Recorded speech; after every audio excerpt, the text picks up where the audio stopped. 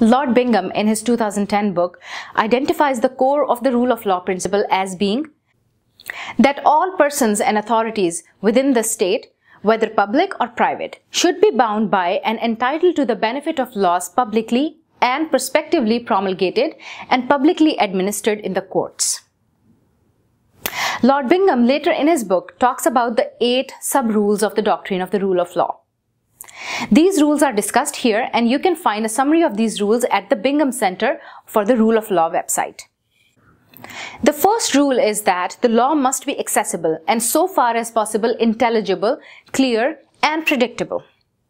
The reason that it is important that the rule be accessible, clear and predictable is because the law can act as guidance to the citizens how they should act.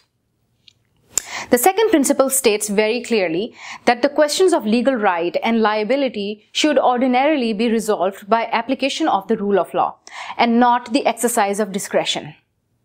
It is important to note that the rule of law is undermined when laws are applied to events that have already taken place.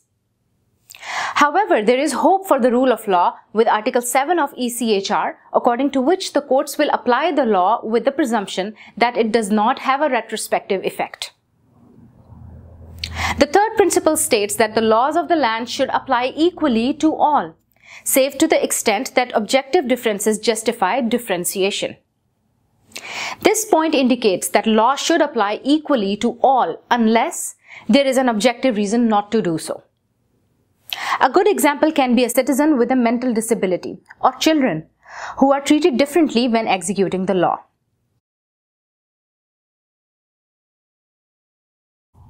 Lord Bingham provides some discretion to officials in performing their duty while upholding the rule of law.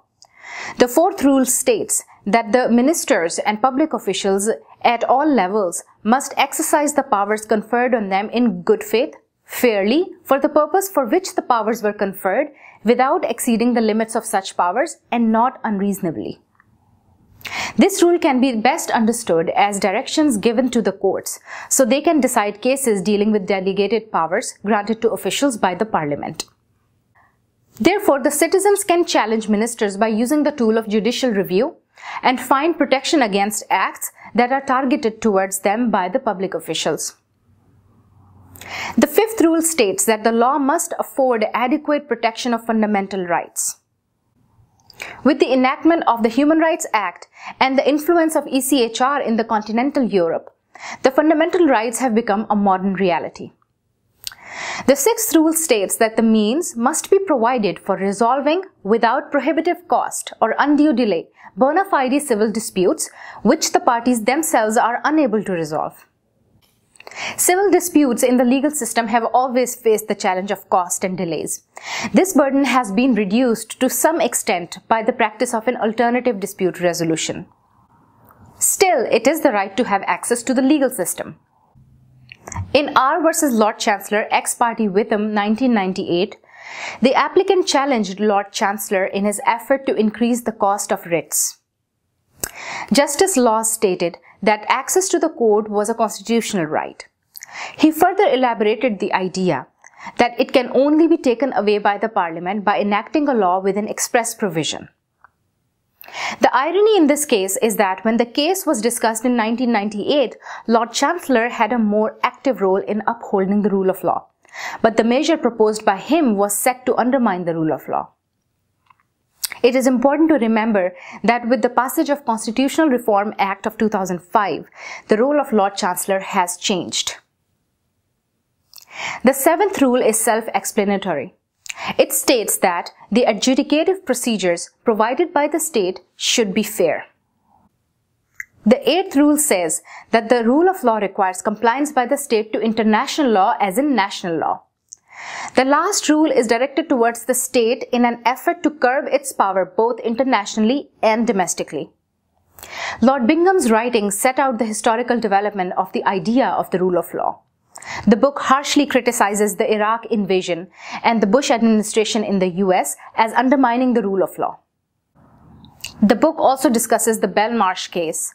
The case began with nine men who challenged a decision of the Special Immigration Appeals Commission to eject them from the country on the basis that there was evidence that they threatened national security.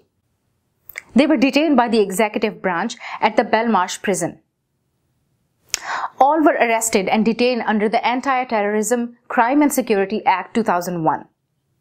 The powers provided by the Act allowed indefinite detention of terror suspects without deportation and trial. The powers applied only to non-British citizens. The House of Lords held by a majority that while the detention was lawful under the Anti-Terrorism, Crime and Security Act 2001, Section 23 was incompatible with the Articles of European Convention on Human Rights.